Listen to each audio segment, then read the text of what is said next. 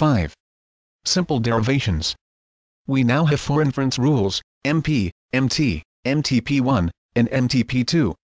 How do we utilize these in demonstrating other arguments of sentential logic are also valid? In order to prove show, demonstrate that an argument is valid, one derives its conclusion from its premises. We have already seen intuitive examples in an earlier section. We now redo these examples formally.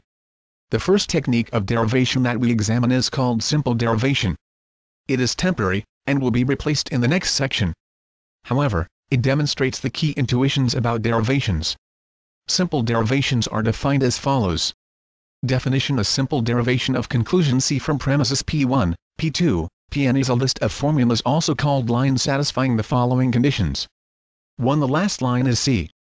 2. Every line formula is either a premise 1 of P1, P2, Pn, or follows from previous lines according to an inference rule. The basic idea is that in order to prove that an argument is valid, it is sufficient to construct a simple derivation of its conclusion from its premises. Rather than dwell on abstract matters of definition, it is better to deal with some examples by way of explaining the method of simple derivation. Example 1 Argument P. PQ. QR slash R simple derivation 1 PPR 2 PQ PR 3 QR PR 4 Q1, 2, MP5 R3, 4, MP This is an example of a simple derivation. The last line is the conclusion. Every line is either a premise or follows by a rule. The annotation to the right of each formula indicates the precise justification for the presence of the formula in the derivation.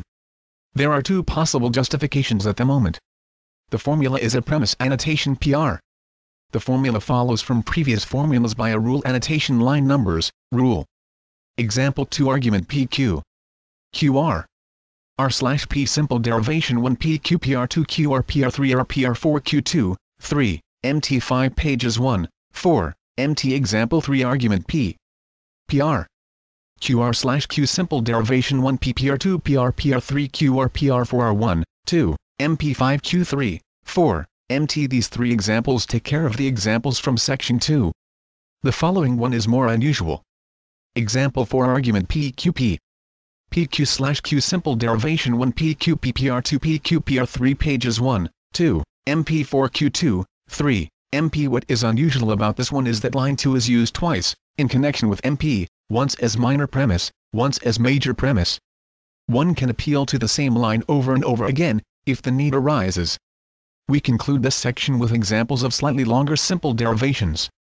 Example 5 Argument PQR PR P slash Q simple derivation 1 PQR PR2 PR PR3 PPR4 R2, 3, MP5 QR1, 3, MP6 Q4, 5, MTP2 Example 6 Argument PQR PQ Q slash R simple derivation 1 PQR PR2 PQ PR3 Q PR4 pages 2, 3, MT5 QR1, 4, MP6 R3, 5, MTP1 Example 7 Argument PR PQ PQ RPQ slash P simple derivation 1 PRPQ PR2 PQ PR3 RPQ PR4 PR1, 2, MTP2 5 R2, 3, MT6 pages 4, 5, MTP2 example 8 argument PQ.